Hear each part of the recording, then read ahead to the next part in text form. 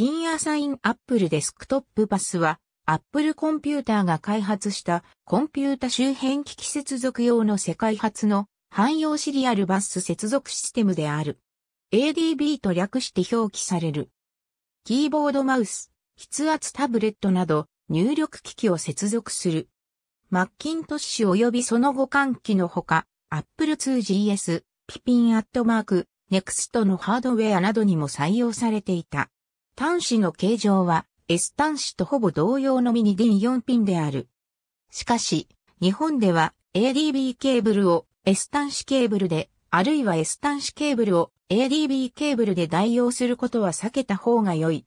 日本の S 端子ケーブルと ADB ケーブルの端子は出っ張りが異なるためである。バスパワーで電力を供給できる世界初の汎用シリアルバス接続システムで一つのバスから周辺機器を3台まで数珠つなぎに接続でき、一部のモデルを除きキーボードの電源ボタンでシステムの電源を入れることが可能である。